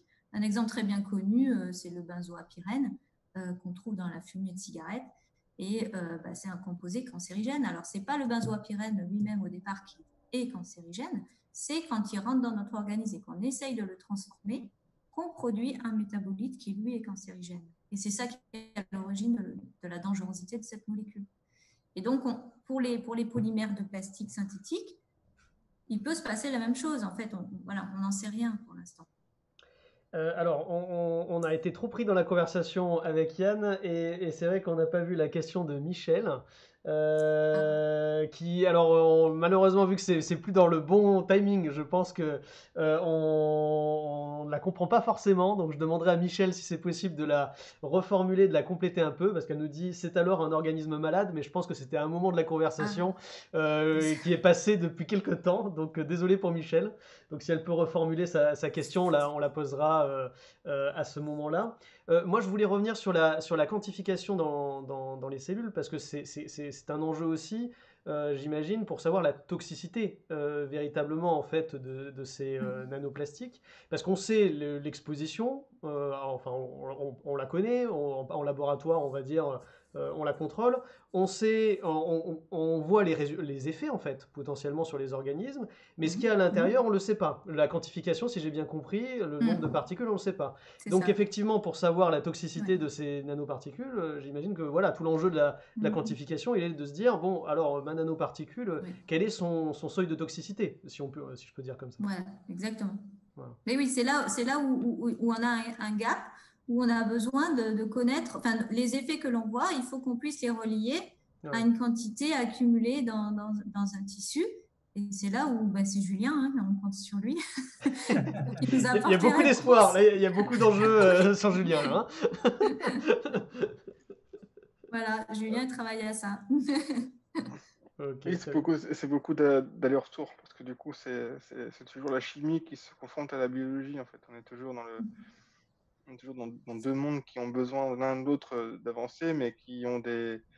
Voilà, on est limité par la techno, on est limité par les connaissances, et en plus, quand vous avez des organismes qui sont compliqués, et une particule qui est compliquée, hmm. euh, vous imaginez un peu le casse-tête, hein, ce qui peut expliquer, je pense, en partie ma calvitie, même s'il y a une raison, génétique, euh, mais, je pense qu'il y a quand même aussi pas mal de, neurones qui se sont échappés par, par, par là-haut. Donc, non, c'est vraiment compliqué parce que parce qu'il faut toujours essayer d'aller. Surtout que Magali, elle a fait un choix qui m'arrange pas en fait. Elle a fait un choix qui m'arrange pas. Elle a fait le choix de travailler dans des conditions réalistes. Une faible dose. Voilà, donc du coup c'est compliqué parce qu'il faut aller chercher des traces et de l'ultra trace. Il y a des laboratoires qui, en France qui sont réputés, euh, notamment à Bordeaux, pour caractériser des traces de contaminants. Mais, le problème c'est que là on est sur il faut pouvoir corréler à la fois la taille, donc les propriétés physico-chimiques de la particule, à des niveaux ultra faibles et relier ça dans des matrices compliquées. Parce que, mmh. dans, dans, un organisme, il y a des colloïdes, donc il y a des particules naturelles. Les enzymes, les, protéines sont des nanoparticules, euh, sont des, macromolécules qui ont une taille nanométrique. Donc il faut essayer d'aller, en gros, chercher une aiguille dans une botte de foin. Parce que la botte de foin, elle est, elle est gigantesque. Donc euh, c'est compliqué, et, euh, mais on a, des, on a des bons espoirs. On a des espoirs qu'on, dans les trois quarts des, outils qui fonctionnent, euh, je ne voudrais pas dire ça, mais c'est quand même beaucoup du coup de bol, hein, parce que du coup, on, applique nos méthodes qu'on développe au, fur et à mesure, et en fait, euh, on réanalyse des solutions qu'on se dit peut-être que ça va fonctionner, bingo, ça fonctionne, et ce qu'on pensait qui, qui fonctionnait avant sur des matrices assez maîtrisées en laboratoire, bah, quand on veut appliquer ça à des matrices complexes, on se dit bah non, ça marche pas. Donc du coup, on est on est sur du, on est toujours sur ce qu'on appelle, ce qu'on appelle dans le domaine de l'interdisciplinarité, c'est qu'on est toujours, euh, on va dire entre deux chaises, à essayer de se dire bon, est-ce que ça va marcher, pas marcher, est-ce qu'on prend du risque sur cette méthode, mais du coup, euh, Magali derrière, elle a mis en place tout un système d'expérimentation avec euh, des milliers d'organismes. Du coup, il faut toujours essayer d'apporter une réponse analytique à ces, à ces manips, et c'est pas forcément toujours évident parce que d'ailleurs nous on, on essaye de, de, répondre à ces questions qui sont euh, combien il y en a, est-ce que c'est bien ça, et mmh. est-ce que ça va rester là? En gros, c'est un peu les questions qu'il faut répondre. Mmh. Euh, justement, euh, à cette question, combien il y en a? Donc le plastique, on va vous entendre, il y en a à peu près partout. est-ce qu'il est rentré dans le cycle de l'eau? J'entends évaporation, les nuages, il neige en haut des sommets. Est-ce qu'il neige des nanoparticules de plastique et après ça tombe dans les rivières? C'est avalé par les différents organismes, et donc on, est euh, à tous les stades du cycle de l'eau. Y aurait-il du plastique? Et, juste pour compléter la question de, Yann, effectivement sur le cycle de l'eau, euh, on pense souvent, euh, enfin plastique c'est environnement marin, océanique, dans nos, dans nos rivières, dans nos fleuves, dans nos torrents, y a des, des nanoplastiques. Alors, Est-ce qu'il neige du plastique sur le Kilimanjaro? Pour être très précis, pour être très précis. Il ne neige plus sur Kilimanjaro, il neige plus, c'est fini. Ah, alors, pour, pour, euh, par, rapport justement à ce, à ce, côté un peu, euh, comment dire, inédit euh, ou des zones exposées au plastique, quand on a publié les premières études, on nous demandait de trouver une zone sur Terre contrôle. Hmm. Donc, vous demandez, voilà, vous avez montré du plastique. Donnez-nous, s'il vous plaît, une zone où il n'y en a pas. Ouais, fait, la, réponse que j'ai apportée au rapporteur, elle dit bah, si vous me donnez ce lieu, je prends directement un billet d'avion et j'y vais.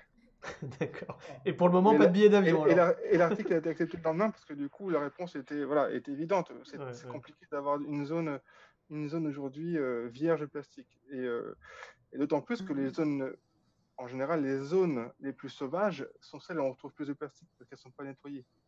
Mmh, c'est un peu l'inverse qu'on retrouve. Les, îles euh, vierges ou les îles éparses que vous avez un peu partout dans les océans sont souvent euh, recouvertes de monticules de plastique parce que personne vient évacuer euh, quotidiennement ces plastiques. Alors que sur les plages de Saint-Tropez, vous allez rarement voir, vous c'est dingue, il n'y a pas de plastique en Méditerranée. Ouais, ouais, Il n'y a pas de pollution plastique, euh, c'était la télé. voilà, donc c'est un peu ce, problème. Donc ça, veut dire que si on essaye de s'éloigner de l'humanité euh, le plus loin possible, on pourra retrouver une zone avec du plastique, quoi. Ah, peut-être sur, la Lune, éventuellement. D'accord. Pour demander. Encore, je suis pas sûr. Je crois qu'il doit rester des déchets là. Ça, ça coûte un peu cher sur le budget de recherche, hein, quand même, Julien. bon, bah écoutez, on, peut toujours espérer. Hein, mais, euh... L'analyse de justement, enfin, dans les neiges, euh, dans ce qu'il neige en haut, sur les sommets des montagnes, dans les nuages, on a une idée justement, on quantifie tout ça? Bah, Quantifier, non. Euh, identifier la présence, oui. Parce qu'en en fait, une nanoparticule est un, peut être euh, ce qu'on appelle nébulisable. En fait, quand vous avez un aérosol, c'est une nanoparticule euh, dire, temporaire, mais ça reste une nanoparticule. Donc vous pouvez, bien sûr, c'est très dépend de la taille, parce que vous ne pouvez pas non plus euh, évaporer des grosses particules, hein, ça, ça n'existe pas. Donc il y a quand même une limite de taille, mais les particules les plus fines peuvent être oui, transportées dans des. Bah, c'est connu, hein, les nanosuies, typiquement les suies. Les particules ultra fines qui sont produites dans les, dans les, dans les villes sont, transportés sur des longues distances. Vous avez des, parcours qui sont considérables et qui retombent sur les points froids et après on repart dans le cycle de l'eau. Mais après, voilà, on est, on, est, je pense pas qu'aujourd'hui, ah, je, je, je, garde, bien sûr, mais je, ne pense pas qu'aujourd'hui, il y ait une étude qui permet de quantifier les flux de nanoparticules dans le cycle de l'eau. Je pense que ce serait trop prématuré parce que mmh. c'est du carbone, c'est très similaire à la matière organique naturelle ça va vite, ça bouge très vite, ça, euh, c'est très dépendant des, milieux. Même nous, on a, on a un projet actuellement euh, avec l'ADEME sur un sol contaminé euh, près d'Orléans et on, observe la présence de nanoplastiques et nos tests en laboratoire nous montrent que ces particules sont transportées ou accumulées suivant la présence ou non de matière organique à la surface. Donc on a, on a, le, cycle de l'eau, il est encore, c'est encore des, voilà, les, images qu'on a dans les, dans, les, livres avec le, cycle du fer, euh, là pour l'instant on est, on, est, on est, bien, on est très très loin de ça, surtout les quantités qui sont annoncées. Là on, là, on travaille sur des plastiques qui ont plus de 30, euh, 40 ans. Quoi. Donc les flux de plastique qui arrivent mmh. aujourd'hui, euh, ils vont arriver dans, dans, dans l'océan dans 30 ans. Donc, et d'ici là, bah, peut-être, c'est bien, ça va, ça va m'arranger parce que dans 30 ans, les méthodes que j'utilise actuellement pourront les voir. je suis content, j'aurai pas besoin de faire des efforts analytiques pour les caractériser. Euh, Julien, vous allez avoir du boulot. Là, c'est sûr que là. dans 30 ans, je serai sûrement. Bah, S'il y a une retraite un jour, j'y serai sûrement, mais, euh, mais, euh, mais pourquoi pas. Une question d'actualité, on parle beaucoup d'un virus là qui nous contraint à faire ce que l'on fait actuellement. Euh, les macroplastiques sont connus pour être de merveilleux supports pour les espèces invasives en milieu marin. Euh, qu'en est-il des virus? Vous en avez un petit peu parlé tout à l'heure, Magali, mais est-ce que les, virus, notamment en milieu marin, les virus qui les huîtres, par exemple, euh, se transportent d'océan, de mer, grâce à ces particules? Alors, les, virus, je ne pas répondre. Moi, ce n'est pas mon domaine. Euh, par contre, on, sait qu'au niveau de pas mal d'organismes pathogènes, plutôt des bactéries, hein, je ne parlerai plus des bactéries, on sait que euh, effectivement, ça peut être transporté euh, sur les macro ou microplastiques en mer dans du biofilm qui se développe à leur surface. Donc, c'est un mélange de développement de, de bactéries, de micro-organismes algales. Euh, et puis euh, aussi, il y a d'autres types d'organismes qui se développent, des, méduses, des choses comme ça. Et c'est vrai que euh, on s'est rendu compte que ces, certaines bactéries pathogènes peuvent être transportées comme ça sur de longues distances à l'échelle de l'océan. Donc ça aussi, c'est une préoccupation euh, euh, bah, de, cette pollution parce que ça permet de disperser finalement ces organismes pathogènes à large échelle. Pour les virus, je ne m'avancerai pas. Je ne pense, pas que ce soit possible de pouvoir les, disperser de cette façon, mais en tout cas, pour tout ce qui est organismes pathogènes, type bactéries, ça, c'est documenté, enfin, c'est une menace justement mesurée. On sait qu'il y a des épidémies alors, euh, je ne saurais pas vous dire exactement. Je sais qu'il y a beaucoup de travaux euh, là-dessus. Il y a pas mal d'équipes qui travaillent là-dessus à Brest euh, ou dans d'autres universités. Et donc, qui justement s'attachent à essayer de déterminer la, capacité de dispersion de ces organismes pathogènes par les plastiques. donc, je ne saurais pas vous dire précisément si vraiment c'est à l'origine d'épidémies qui qui apparaissent dans d'autres endroits du globe. Euh, mais on sait simplement qu'il y a cette capacité de transport euh, qui, euh, voilà, qui a augmenté. Et aussi, bon, il y a beaucoup de gens, moi je ne suis pas tellement d'accord avec ça, mais qui, qui, qui, disent que bon, ça peut parfois être bénéfique, pourquoi pas, pour la biodiversité, puisqu'on a des nouveaux, des nouveaux supports en mer pour le développement de pas mal d'organismes. Et ça ah. devient des micro-écosystèmes flottants euh, quelque part. Et euh, effectivement, on a toute une faune euh, qui se développe autour de ça. Donc, d'un côté, bon, pourquoi pas, on pourrait se dire effectivement, ça augmente peut-être la mm. biodiversité, la biomasse des organismes en mer, mais ça reste des micro-écosystèmes très particuliers qui sont inféodés à un support qui n'est pas du tout naturel. Mais, et en plus, où là-dedans, on peut retrouver le développement d'organismes pathogènes, ou, des méduses, par exemple, qui peuvent proliférer aussi parce qu'elles ont ce support qu'elles n'auraient pas normalement en mer. Donc hmm. euh, voilà, donc tout ça aussi, il y a pas mal de, discussions, euh, de controverses sur la façon de voir la chose. Mais euh, c'est vrai que, bon, en tant qu'écotoxicologue, moi, je suis plutôt dans l'idée que ça reste une pollution quand même, ces plastiques en, mer, avec tous les risques que ça représente, dont on a parlé tout à l'heure.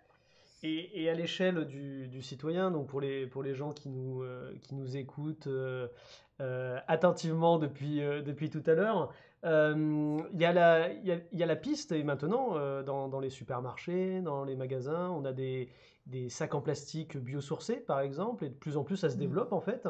Est-ce que ça, mmh. ça serait une piste euh, pour lutter contre les nanoplastiques Ou est-ce que, de toute manière, ça fait, en fait, des, nano, des nanoplastiques, et donc, donc ça résout pas le problème, finalement, on va dire?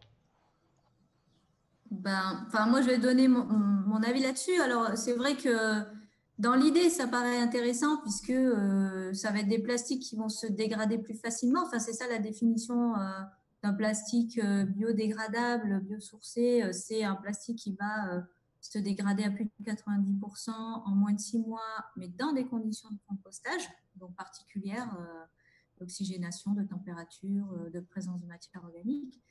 Et euh, donc, effectivement, dans l'idée, ça peut être intéressant, mais par contre, cette capacité de biodégradation en milieu naturel dans l'océan, c'est beaucoup moins évident. Et euh, ensuite, euh, des études toxicologiques qui ont été développées sur l'impact de ce type de plastique d'un point de vue voilà, toxicité à l'échelle micro, voire nano. Et en fait, c'est pas moins dangereux en termes de toxicité. Mmh, les, mmh. les, effets sont quasiment les mêmes, parfois même supérieurs.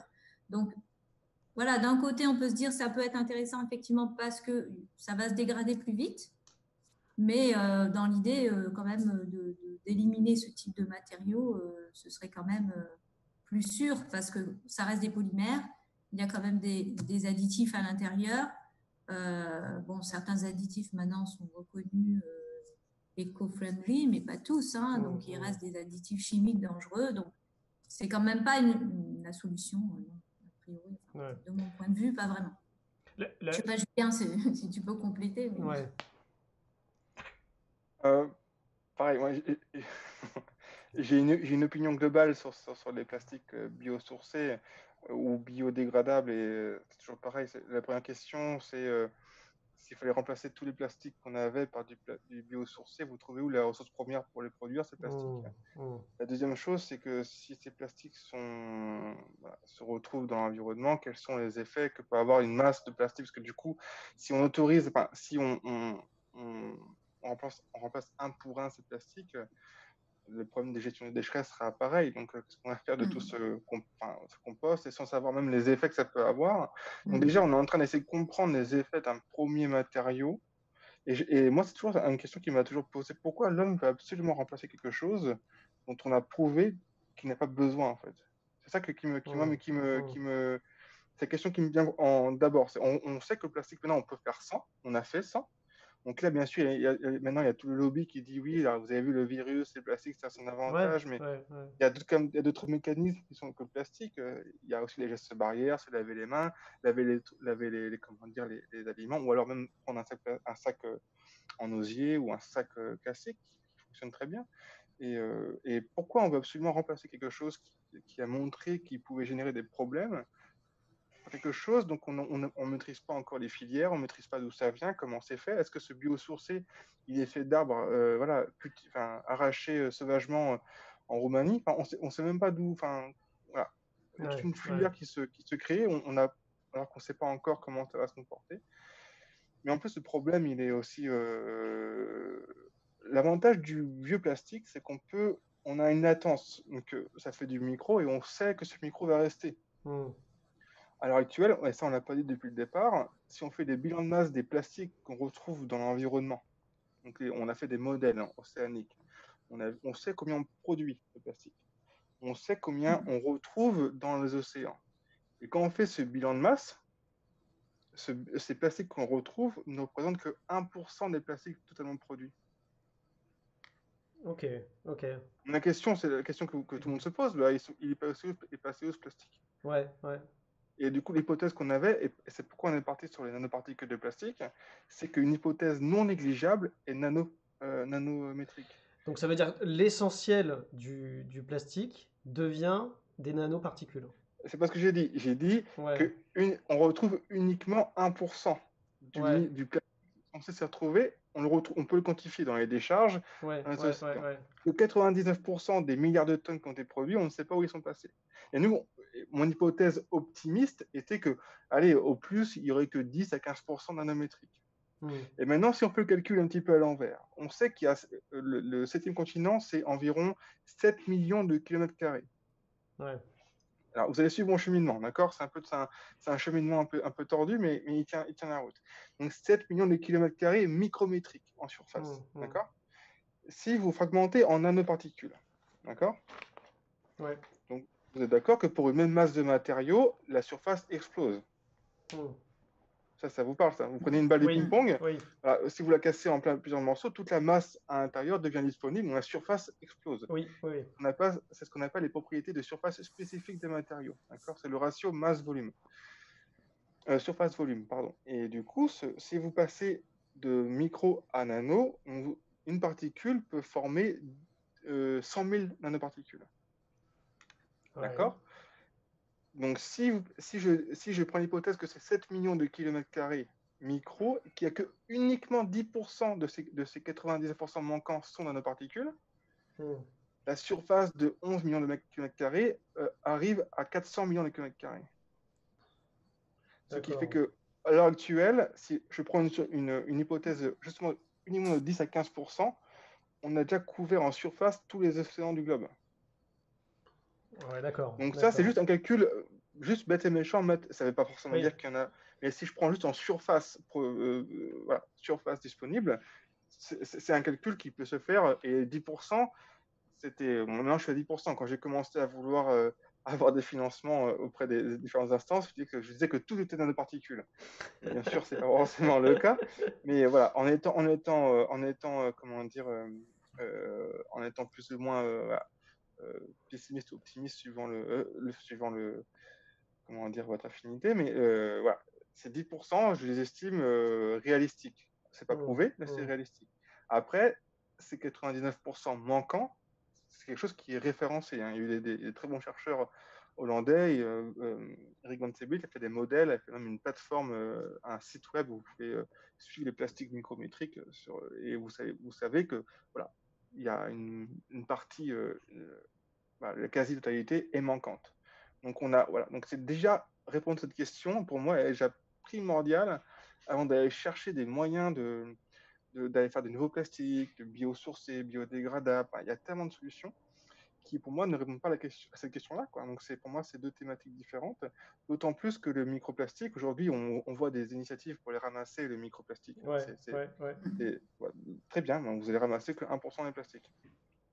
Alors, bien sûr, les questions qu'on me pose, c'est souvent, bah, maintenant, comment faire pour ramasser les nanoplastiques? Bah, la, réponse, elle est évidente, on ne peut pas ramasser un nanoplastique. C'est, si, si, vous ramassez euh, un plastique, c'est un peu l'image du sel plastique dans la forêt. Donc, vous avez un sel plastique dans la forêt.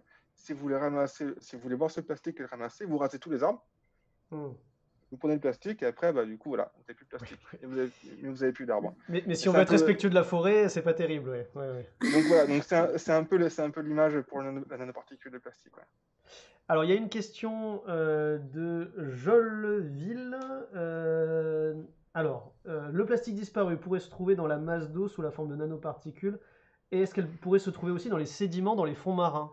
Est-ce que c'est possible que cette masse de plastique, euh, alors sous forme peut-être macro ou micro, hein, est-ce que ça pourrait descendre et aller dans les sédiments? Bien sûr, mais le, nano il diffuse partout, donc il est soumis aux, mêmes contraintes et au même, au même euh, comment dire, au, parcours des, courants océaniques. Bah, pour l'instant, j'ai pas été mesuré les, on a mesuré que les eaux du GIR, on a fait des sols, on a fait des, des eaux estuariennes, la mangrove, dans, lesquelles on, sait qu'on a du nanoplastique. Après, euh, les sédiments, il n'y a pas de, je vois pas de raison euh, qu'il n'y en ait pas en fait. Après, euh, ça n'a pas été prouvé, mais mmh. en plus, c'est des zones avec fortes contraintes. ils ont montré qu'il y avait des plastiques dans les, dans les fosses. Hein. C'était ça. Donc, ouais. Donc, s'ils ont montré des plastiques qui se dégradent, il doit y en avoir, hein, bien sûr. Euh, pour, euh, pour terminer, puisqu'il nous reste plus que quelques minutes, euh, si je comprends bien le, raisonnement, ça voudrait dire qu'il faudrait réduire notre production de plastique à, à, tout prix. Et quand on dit réduire notre production de plastique, c'est tous les plastiques. C'est-à-dire qu'effectivement, ce n'est pas que les plastiques destinés à l'alimentation, pour l'emballage de l'alimentation, c'est aussi les plastiques pour les vêtements, les plastiques pour la construction d'automobiles, les plastiques, etc. etc. Donc, euh, qu'est-ce que, à, l'échelle du citoyen, encore une fois, hein, même si la, la, réponse n'est pas tout à fait complète, qu'est-ce que vous conseillez aux, gens? Parce qu'on est entouré de plastique, c'est très compliqué, en fait, euh, dans bah, cette civilisation de plastique, de, faire des, choix.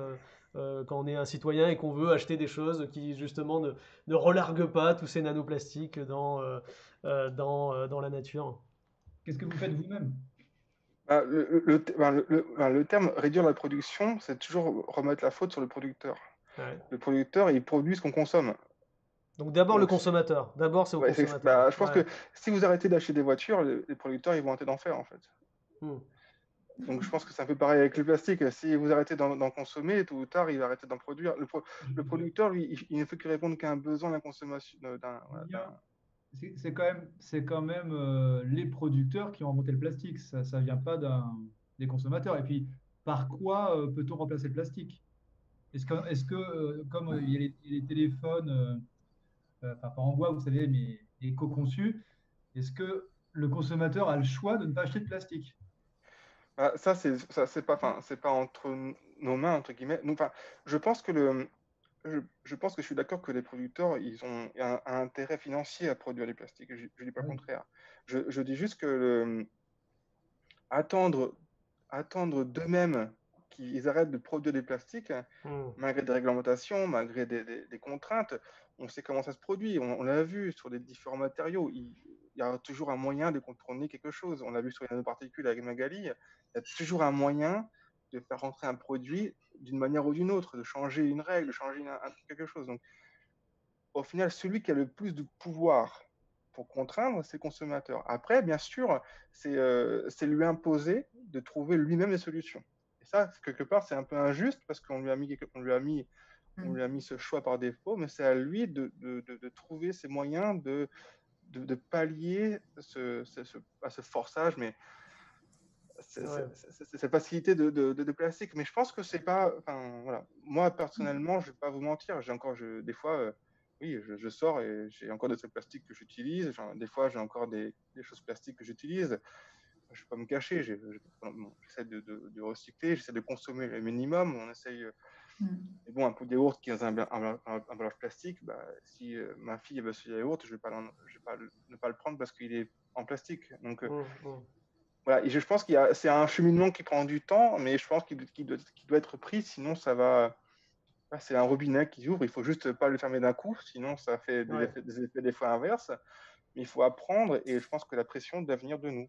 c'est juste... Ouais, mais enfin, je pense qu'il y a aussi besoin qu'il y ait une prise de conscience et qu'il y ait un minimum de réglementation, hein parce que si on regarde euh, par exemple les pailles plastiques, euh, bon bah si on voulait pas en utiliser, on n'en trouvait pas euh, d'autres en plastique. Mmh, mmh. Tandis que maintenant qu'il y a quand même la réglementation qui dit bah il faut arrêter d'utiliser les pailles plastiques, bah, on trouve des pailles en carton, enfin on peut retrouver des produits de substitution et c'est vrai que c'est quand même compliqué en tant que citoyen de pouvoir totalement éliminer le, plastique. Alors c'est sûr que si tout le monde s'y met il peut y avoir un effet de masse, mais il y a aussi à un moment donné, euh, il faut qu'il y ait une prise de conscience politique et qu'il y ait euh, de la réglementation et de la, voilà, de la prise de position politique. Parce que ça ne suffira pas simplement, euh, je pense, la bonne volonté citoyenne. C'est sûr que c'est un déclencheur, mais après, il faut que ça soit relayé derrière. Il faut les deux, quoi. Il faut cette, prise de conscience citoyenne et que du, côté politique, ça, ça bouge, en fait, concrètement. Mais, je crois que ça bouge. Hein. Les politiques sont assez. Euh, ça commence. Ouais, commencent à être vraiment euh, sensibles à, cette, à, cette, à cette euh, problématique. Hein. C'est quelque chose de. de, il y a des directives au niveau européen, français. Il y a quand même des choses qui sont mises en place. Donc, mm-hmm. Après, moi, je suis, je suis nature optimiste, donc tout ira tout ira pour le mieux. Yann, est-ce que tu, tu, voulais poser une dernière euh, non, pas une dernière question, mais un dernier commentaire sur ce que dit Magali. C'est que je trouve formidable. Bah, bon, je ne suis pas du tout d'accord avec Julien. Bon, c'est bien, on pourrait refaire une autre émission sur comment remplacer le plastique.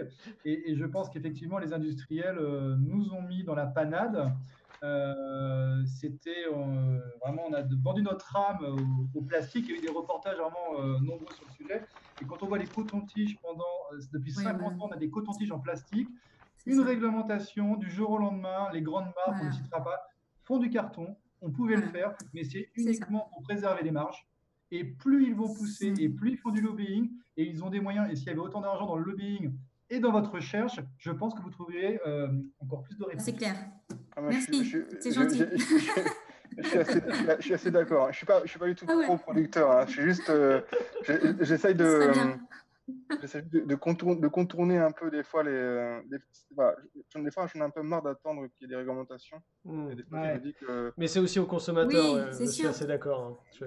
Le, le, consommateur euh, vote et le politique, s'il sait que enfin, le consommateur qui est citoyen va voter pour lui s'il fait pour des directives contre le plastique, bah, c'est là où euh, effectivement il a un rôle. Et vous pouvez aussi soutenir euh, financièrement euh, des super initiatives, des super associations.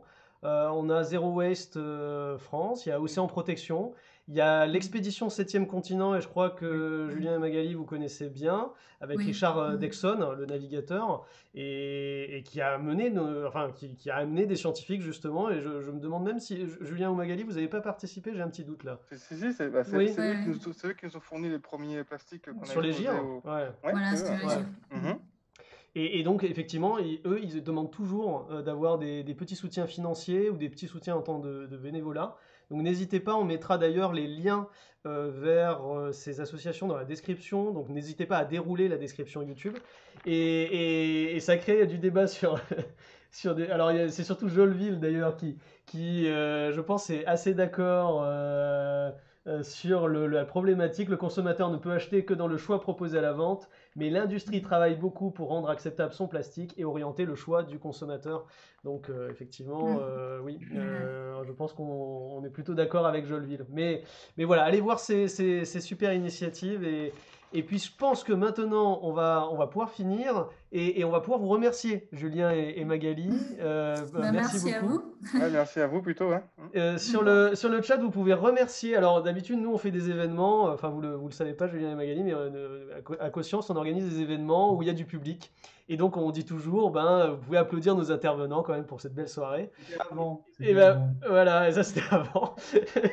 et maintenant, qu'est-ce qu'on fait? On fait des clubs virtuels. Donc, n'hésitez pas à mettre un petit club virtuel sur le chat pour nos intervenants et à les, les remercier. Euh, formidable, quoi. Exactement. Nous aussi, on change, on se transforme. ça évolue.